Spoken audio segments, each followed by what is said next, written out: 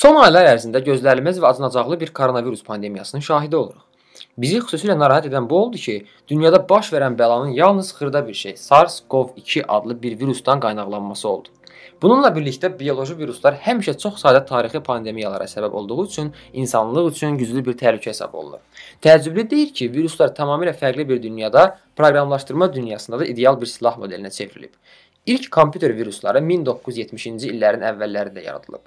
Həm bioloji, həm də rəqəmsal viruslar barədə nə qədər çox düşünsək, oxşarlıqları adamı daha çox heyrətləndirir. Gələcəkdə hər iki növ virusun hansı problemlərə səbəb olacağını bilmirik. Ancaq onların necə yoluxduğunu, ortaya qoyduğu simptomları, necə yayıldıqlarını və vura bildikləri ziyanı başa düşmək hər ikisi ilə mübarizə aparmağa kömək edə bilər. Bəs yaxşı, kompüter və bioloji viruslar arasında hansı oxşarlıqlar var? Gəlin ümumi olaraq hər iki virusun necə göründüyünə baxaq. Düzdür, bu iki virus tamamilə fərqli görünə bilər, ancaq mahiyyət etibarilə eynidir. Kod sətri Koronavirusda bu qabıqdakı RNT genomu, Melisada isə kompüter kodudur. Hər iki halda kod virusun əməl etməli olduğu təlimatdır. Yaxşı, bəs digər oxşarlıqlar nələrdir? Unutmayaq ki, hər iki virus öz aləmlərində yalnız bir təhlükə növüdür. Bioloji viruslarla yanaşı bakteriyalar, göbələklər və digər mikroblar var. Ancaq gündəlik həyatımızda özümüzü pis etdiyimiz zaman tez-tez biz virus tutduq deyirik. Eynilə kompüter virusları yalnız bir növ zərərli proqramdan ibarət deyil. Onların da növləri var. Məsələn, malware, ransomware, worm və s. Yenə də bütün zərərli proqramları adətən viruslar adlandırırıq. Əslində klassik viruslar o qədər də geniş yayılmamışdır. Bəs virus yayılması arasında oxşarlıqlar nələrdir? Tarix ərzində viral xəstəliklərin və kompüter zərərli proqramlarının çoxsaylı yayılması olub.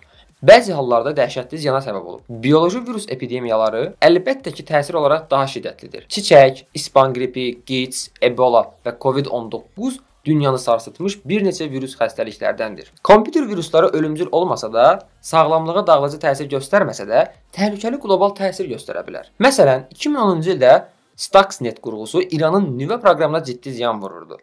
2008-ci ildə Configure digərlərlə birlikdə Fransa hərbi dəniz qüvvələrinin kompüter şəbəkəsinə ziyan vuraraq onların təyyarələrini yerə endirməyə məcbur etdi. Maydun Worm tipli virusu isə 38 milyard dollardan çox ziyana səbəb oldu.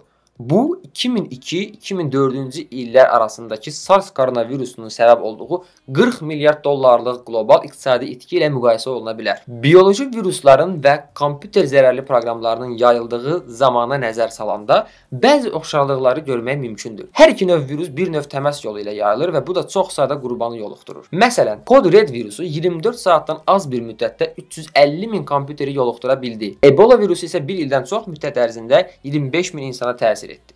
İnfeksiya dərəcələri bir-birinə bənzər olmasa da, ümumi nümunə oxşardır.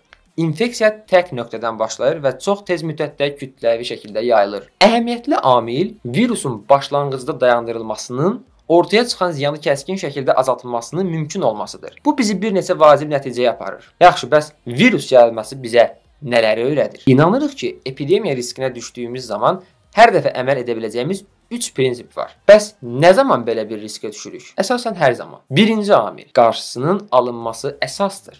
Bu hastalığa karşı elimizde güçlü bir koz var. Yakalanmamak. Bunu kifayət qədər vurğulamaq olar. Peyvənd həyatı xilas edir. Düzgün gigiyena vərdişləri vacibdir. Sağlam bir pəhriz, yuxu və idman vasitəsilə immunitet sisteminə investisiyalar da vacib. Bunlar həm yoluxmanın qarşısını almağın, həm də baş verəcəyi təqdirdə tez sağalmağın yollarıdır. Eyni ilə təhlükəsizlik proqramları ilə cihazlarımızı qorumalı və yeniləməliyik. Eyni zamanda hamımız onlayn olaraq təhlükəsiz davranış qaydalarını tətbiq etməliyik. Şübhəli linklərə klikləməmək, zəif şifrələrdən istifadə etməmək, lisenziyalı tətbiq etmələr işlətmək və s. Hər iki halda biz təkcə bədənimizi və ya kompüterimizi qorumuruq. Bu şəkildə yayılmağı dayandıra və infeksiya əyrisinin yuxarı qalxmasının qarşısını ala bilərik. Bununla biz digər insanları qorumağa da nail oluruq. İkinci amil məsuliyyətli davranış zəruridir. Əgər biz virus tutsaq, adi soyuq dəymə belə olsa və ya daha ciddi bir xəstəlik də olmuş olsa belə, biz hər iki halda məsuliyyətli davranmalıyıq. Ofisə tələsmək əvəzinə evdə qalmaq, əgər özünü müalicə etməyin yolunu bilmirsinizsə, Peşəkarlardan bunu öyrənmək və ya birbaşa onların özünə müraciət etmək, öskürəndə və ya askıranda ağzı bağlamaq, bunlar xəstə olan hər kəs üçün əsas qaydalardır. Kompüterdə olan bir virus da oxşar protokollara malikdir. Virusun yayılmasının qarşısını almaq üçün izolə olunmalısınız. Bu vəziyyətdə isə kompüterinizi izolə etməlisiniz. Bir kompüter xəstələnib və ya sadəcə simptomlar göstərirsə, bunun üçün düzgün diaqnostika və müalicə tələb olunur. Bir virus əlamətləri varsa, cihazı etibarlı bir antivirusla yoxlamalıyıq. Zərərli proqram silinməyincə kompüteri heç bir şəbəkəyə və ya digər cihazlara qoşmamaq vacibdir. Əgər iş mürəkkəb görünürsə, bir mütəxəssislə əlaqə saxlamaq daha məqsədyönlü olar. Üçüncü amil panika bizim düşmənimizdir.